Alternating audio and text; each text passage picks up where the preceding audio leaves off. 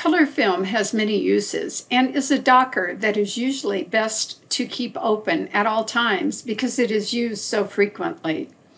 Make sure auto hide is in the vertical position to keep the docker open.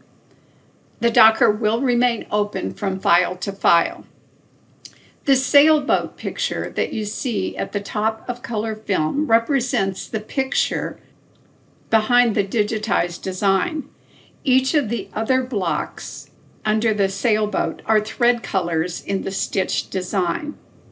The first icon that you see in the color film docker is called Show Objects. When it is activated, the icon turns blue. You'll notice that the sailboat picture turned into the actual picture behind the design. This happens when Show Objects is activated. When it's deactivated, the sailboat picture returns.